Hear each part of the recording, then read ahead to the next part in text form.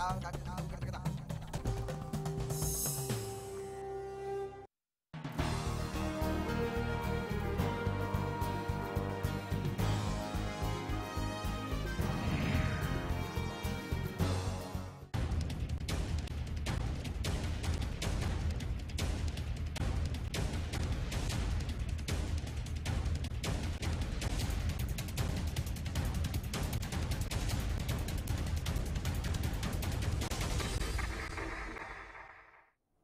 नमस्कार, बड़ी बहस में आपका स्वागत है। मैं हूँ सौरभ जौहरी। जिस देश में करीब सवा सौ करोड़ की आबादी बसती हो, और देश का आपको 70 प्रतिशत आबादी कृषि पर ही आधारित है। उस देश में किसानों की क्या दुर्दशा है, ये किसी से छिपी नहीं। कई किसान अपने हक के लिए सड़कों पर हैं तो कहीं आत्महत्या करने पर मजबूर हैं। लेकिन सरकार को किसानों की शांति की भाषा समझ नहीं आ रही, और ना ही उनके दर्द की कोई दवा उनके पास है। बड़ी बहस में आज बात करेंगे इसी मुद्दे पर। प्रदेश में किसानों की दुर्दशा हो रही है।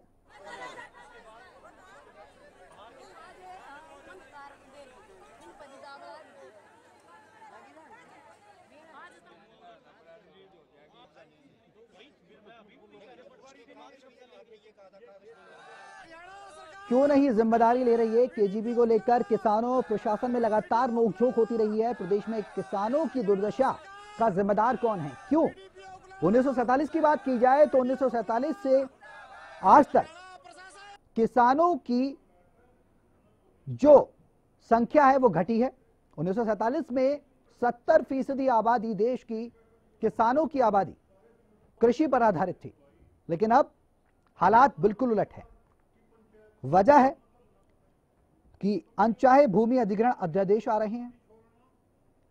किसानों के हक में कौन है? आखिरकार कब उनकी आवाजों को सुना जाएगा? कब उनकी समस्याओं का निस्तारण होगा? राजनीतिक दलों की सियासत तले खड़ा उन्हें कर दिया गया, लेकिन देश में किसान और खेती का सच क्या है? उस दायरे में सिर्फ़ किसानों को सोचना ही नहीं, बल्कि किसानी छोड़ मजदूर बनना है। खेती को लेकर देश की अर्थव्यवस्था के पन्नों को अगर आज़ादी के बाद से ही पलटें तो बहुत कुछ बदला हुआ नज़र आता है। 11 दिसंबर को करनाल में बैठक हो रही है किसानों की। किसानों ने आंदोलन की बात कही है। आज अपने हक के लिए किसान सड़कों पर हैं, क्योंकि गन्ने का सही रेट नहीं मिल रहा और सरकार किसान की शांति की भाषा समझती नहीं। तो फिर किसान आखिर जाए कहाँ? जो तस्वीर प्रदेश के यमुनानगर से किसान भवन से निकलकर आई है उसमें किसानों का गुस्सा सरकार के खिलाफ साफ़ नज़र आया। 11 दिसंबर को करनाल में किसानों की बैठक होनी है।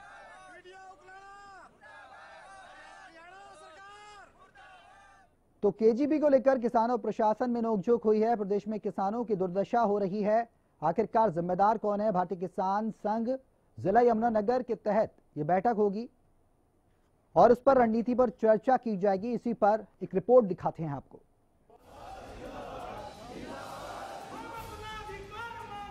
किसानों के हक में है कौन? ये सवाल चाहे अनचाहे भूमि अधिग्रहण अध्यादेश ने राजनीतिक दलों की सियासत तले खड़ा तो कर ही दिया है। लेकिन देश में किसानों और खेती का जो सच है, उस दायरे में सिर्फ़ किसानों को सोचना ही नहीं, बल्कि किसानी छोड़ मजबूर बनना है।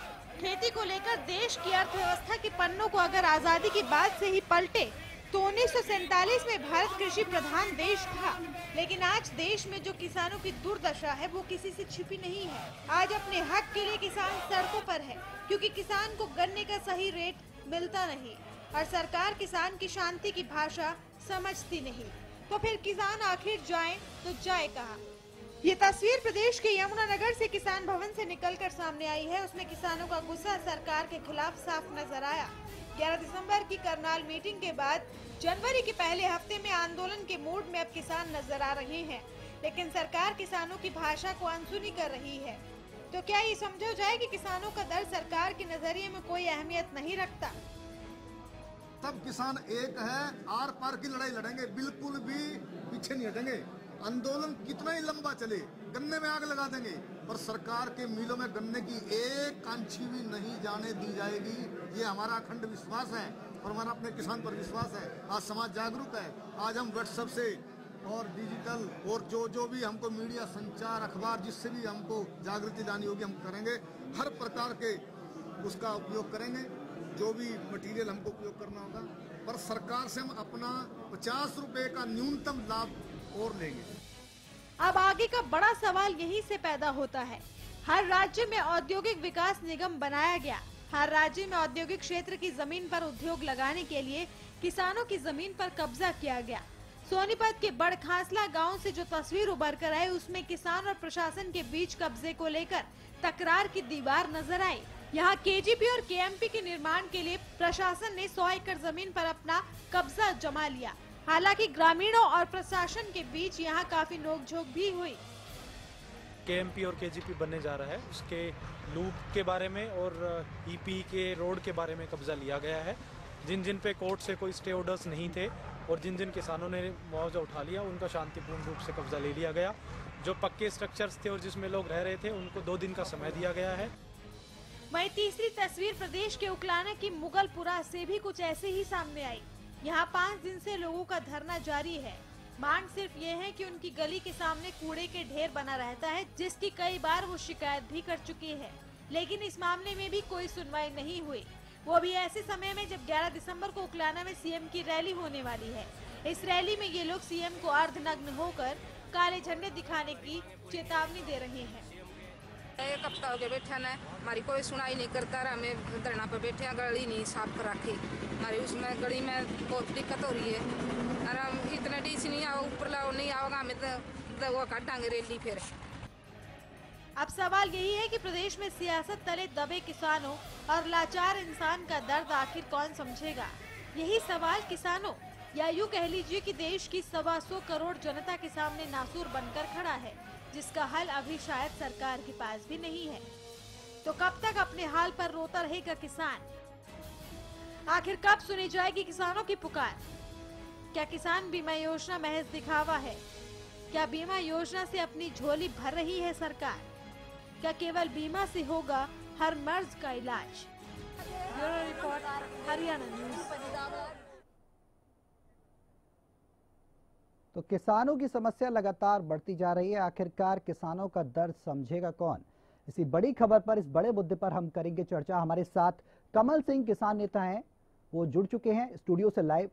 कमल जी स्वागत है आपका हरियाणा न्यूज़ में। कमल जी सबसे बड़ा मुद्दा किसानों का ये कि किसानों की समस्या का समाधान नहीं हो रहा। सवाल यह है कि आखिरकार किसानों की समस्या का समाधान क्यों नहीं हो रहा और किसानों की संख्या घट क्यों रही है? वजह क्या है?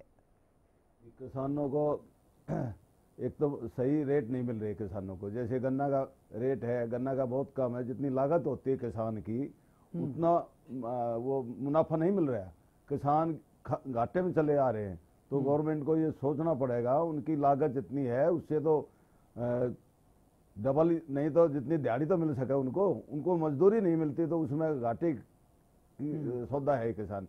और ये ज़मीन अधिग्रहण का चल रहा है हमारे पाँच गाँव की ज़मीन अधिग्रहण करी। अब भी ज़मीन 2003 में अधिग्रहण की गई थी। उसका अवार्ड दिया गया 2006 में।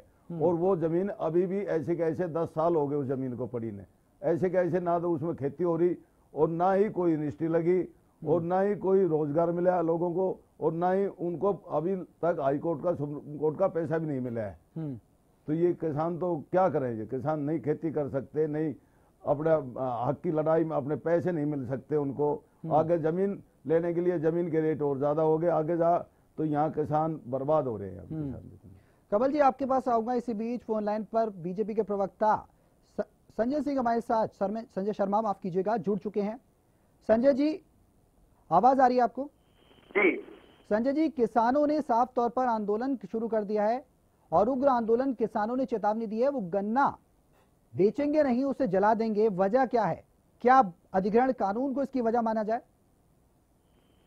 देखिए किसानों की जो गन्ने की समस्या थी जो पुराने मिलों के गन्ने के ऐसे के रुके हुए थे भारतीय जनता पार्टी की सरकार आते ही हमने जो प्राइवेट शुगर मिल है जो यहाँ नारायणगढ़ का शुगर मिल है चाहे यमुनानगर का शुगर मिल है या और शुगर मिल है उनको बिना ब्याज के ऋण सरकार ने दिया ताकि किसानों को उनकी गन्ने का बकाया मिले। हम्म अब केवल पाँच पाँच करोड़ रुपए किसानों को उनका बकाया इस सरकार ने दिलवा दिया है। हम्म। हम नहीं चाहते कि किसान इस तरह से अपनी फ़सल का उसको मूल्य ना मिले उसके कारण से वो किसानी छोड़े या कुछ करे।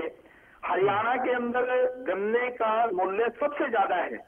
यूपी से भी ज़्यादा क्योंकि यूपी एक ऐसा स्टेट है जहाँ गन्ना सबसे ज़्यादा होता है। हम्म। लेकिन हरियाणा में यूपी से भी ज़्यादा गन्ने का रेट है। अब ये बात अब आप देखेंगे कि चीनी आजकल महँगी हो गई है। हम्म। पैंतालीस रुपए के आसपास है। जब तो जब चीनी महँगी होगी तो स्वाभाविक रूप से किसानों को गन्ने का रेट भी अच्छा मिलेगा। तो हम चाहते हैं कि किसान उसकी फ़सल का उसको लाभकारी मूल्य मिले। इसके लिए हम इनपुट सस्ती कर रहे हैं। पहली बार यूरिया का खाद का रेट कम हुआ है डीएपी का रेट कम हुआ है। किसानों को बिजली सस्ते रेट पे मिले इसलिए भारतीय जनता पार्टी की सरकार ने वो प्रोविज़न किया है। उनको पानी किसी खेत के अंतिम छोर तक मिले उसके लिए नहरी व्यवस्था अच्छी की है। यानी पहले खाद के लिए लंबी लंबी लाइन लगती थी लेकिन अब खाद के लिए लंबी लाइन नहीं है। किसान को वो हॉस्पिटल है। तो ये सारे इनपुट्स किसान के लिए करके ताकि उसका बिल्कुल संजय जी बिल्कुल आप कह रहे हैं सुविधाएँ दी जा रही हैं सरकार की तरफ़ से लेकिन अगर किसानों की तादाद की बात की जाए तो आज़ादी से अब तक काफ़ी हद तक गिरी है। 11 करोड़ थी और अब 10 करोड़ हो गई है। उसके बाद आगे भी गिर सकती है। क्यों मजदूरी में परिवर्तित हो रहे हैं? आपके पास आऊँगा इसी बीच। कृष्णमूर्ति हुड्डा जी हमारे साथ फ़ोन लाइन पर जुड़ चुके हैं। प्रवक्ता हैं कांग्रेस के। कृष्णमूर्ति जी स्वागत है आपका हरियाणा न्यूज़ में। आवाज़ आ रही है आपको? धन्यवाद। जी। कृष्णमूर्ति जी क्या मानते हैं किसानों ने साफ़ तौर पर ऐलान कर दिया है कि वो गन्ने को नहीं बेचेंगे किसानी छोड़कर मजदूरी में जाएँगे। आठ करोड़ परिवार काम करते हैं ज़िंदगी चलाते हैं लेकिन परेशान है किसान। देखिए सरकार में किसान सबसे ज़्यादा परेशान है क्योंकि किसान को ना तो फ़सल के भाव मिल रहे हैं हम्म। और ना खाद और बीज का इनका इंतज़ाम हो रहा है। हम्म। और किसान की ना पूरी बिजली मिल रही है उनको हम्म। खेतों में। और ना उनको पानी मिल रहा है। लेकिन संजय शर्मा जी तो कह रहे हैं बीजेपी के प्रवक्ता हैं वो तो कह रहे हैं कि साफ़ तौर पर यूरिया भी उपलब्ध कराया जा रहा है किसानों को। उनकी समस्याएँ समझी जा रही है। किसान के पास पैसा तो है नहीं। हम्म। कहाँ से किसान लेगा? आज बैंकों में पैसा नहीं है। हम्म। लाइन में लगे या वो खेती करें? हम्म। इस बार देख लेना हालत इनकी बहुत खस्ता होगी। ये बीजेपी के लोग तो सुबह से शाम तक झूठ बोलते रहते हैं कि सब कुछ उपलब्ध करा रहे हैं। किसानों को इन्होंने थानों में बुला बुला के पिटवाया है खाद के खाद के बहाने से। हम्म। ये लो, लोग भूले थोड़ा है इन बातों को। हम्म। ये सरकार टोटली किसान विरोधी है और इन्होंने किसान को बर्बाद किया है। न इन्होंने भाव दिए हैं हम्म। न किसान को प्रोत्साहन देने के लिए कुछ किया इन्होंने। जी। आज जिस तरह जीरी का भाव गन्ने का भाव हम्म। गेहूँ का भाव किसी चीज़ का भाव इन्होंने अच्छा नहीं दिया। हम्म। किसी किसान से बात करके देख लो वो इस सरकार के खिलाफ बोलेगा। बिल्कुल कृष्णमूर्ति जी, जो आपके सवाल हैं, उनके जवाब हम बीजेपी के प्रवक्ता से लेंगे और चर्चा करेंगे। फ़िलहाल रुक रहे हैं यहाँ पर अपनी बहस में सभी मेहमानों के साथ एक छोटे से ब्रेक के लिए। चल लौटते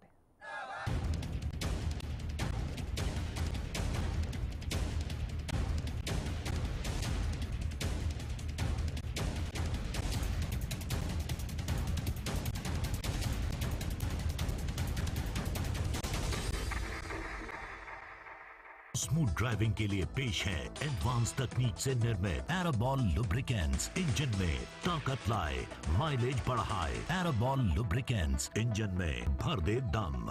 Sangwan's defence academy air force और नेवी में भर्ती होने का सुनहरा मौका। अपना करियर नेवी एयरफोर्स और आर्मी में देख रहे हैं। केवल नेवी एयरफोर्स आर्मी पर ही फोकस रखा जाता है। डिसिप्लिन को फ़र्स्ट प्रायोरिटी दी जाती है जिससे इसकी अलग पहचान है। कोच द्वारा फ़िज़िकल की तैयारी, यहाँ हॉस्टल और मेज की सुविधा भी उपलब्ध है। ज़्यादा जानकारी के लिए आप हमें संपर्क कर सकते हैं।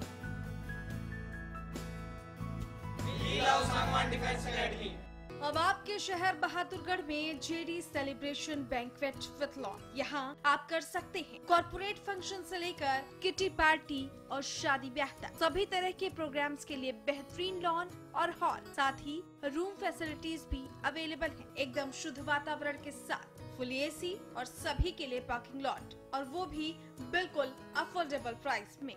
हमारा पता है दिल्ली रोहतक बाईपास के नज़दीक, झज्जर रोड, बहादुरगढ़। गीता गूंजी सारी दुनिया में। कुरुक्षेत्र की धरती पे भाई लाग रहा समेड़ा रे। धर्म युद्ध जित होया उड़े, खुशियाँ का फैला डेरा रे। गीता महोत्सव के अवसर पे देश प्रदेशा के नर नारी, कलाकार और कामगार भाई जुड़ रही से जनता भारी कुरुक्षेत्र में चलांगे और ब्रह्म सरोवर नहावांगे। नाच नाटेर सेमिनार संग गीता भी सुन पावांगे। गीता गूंजी सारी दुनिया में। गीता के संदेश चल के जीवन सफल बनाओ छह से दस दिसंबर तक। अंतर्राष्ट्रीय गीता महोत्सव में सादर आमंत्रित है। हरियाणा के जन जन से मैं अपील करना चाहता हूँ कि जो अमर संदेश आध्यात्मिक संदेश भगवान श्री कृष्ण ने इस धरा पर अर्जुन को दिया था। उसका प्रचार प्रसार हम सब दूर करें और इसको हर्ष, उल्लास और श्रद्धा के साथ मनाएँ। हरियाणा। बहादुरगढ़ में सुपर स्पेशलिटी ब्रह्म शक्ति संजीवनी हॉस्पिटल। दस सालों से इस इलाके की लोगों की सेवा हम कार्यरत हैं। कंप्लीट मेडिकल केयर एक ही छत के नीचे। झज्जर डिस्ट्रिक्ट की इकलौती कैथ लैब है। 24 फोर आवर कार्डियोलॉजिस्ट की टीम सभी super specialist surgeon physician gynaecologist orthopaedic surgeon paediatrician. चौबीसों घंटे cath lab dialysis blood bank CT scan ultrasound advance pathology lab ENT and eye surgery भी उपलब्ध है। हमारा पता है सिरसा में अब खत्म हुआ अंतर्राष्ट्रीय स्तर की शिक्षा का इंतज़ार। M D L R group लेकर आए हैं M D K international school Haryana के हरित क्षेत्र सिरसा में विश्व स्तरीय शिक्षा की खास पहचान। M D K international school Cambridge university London से जुड़े सिरसा के इस पहले residential cum day boarding school के डायरेक्टर हैं कैम्ब्रिज एग्ज़ाम्स के आकलन करता मिस्टर लॉरेंस फ्रे विश्व स्तरीय शिक्षा के साथ एम के स्कूल में है एयर कंडीशन कैंपस और दूसरी आधुनिक ज़रूरी सुविधाएँ, पुस्तकों से परिपूर्ण लाइब्रेरी और एक स्पेशियस कैफेटेरिया जिसमें बच्चों के लिए मिलेगा हेल्दी खाना। एम इंटरनेशनल स्कूल की विश्व स्तरीय खेल एवं अन्य सुविधाएँ आपके बच्चों का स्वास्थ्य एवं चहुमुखी विकास सुनिश्चित करती है। तारकेश्वरम धाम के नज़दीक रानिया रोड, सिरसा में। अधिक जानकारी के लिए संपर्क करें।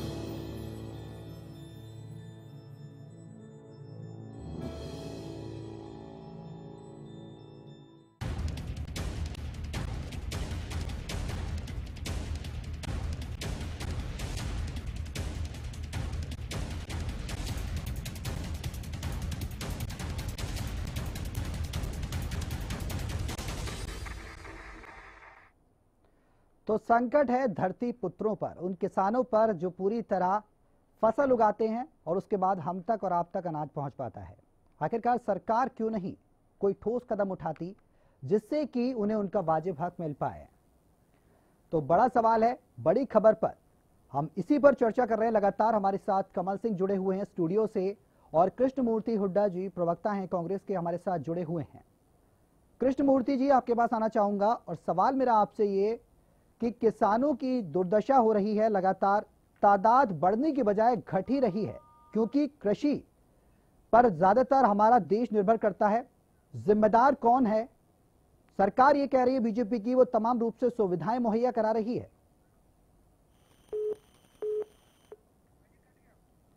तो तो बड़ा सवाल है, कृष्णमूर्ति जी से लगता है तकनीकी कारणों की वजह से संपर्क नहीं हो पाया। बड़ा सवाल कि आखिरकार किसानों की समस्या को समझेगा कौन? स्टूडियो से हमारे साथ किसान नेता कमल सिंह जुड़े हुए हैं। कमल जी अगर बात की जाए तो किसान बदहाल है। उसके लिए लगातार किसान को मजदूर बनने पर मजबूर होना पड़ रहा है। आखिरकार किसान मजदूर क्यों बन रहा है?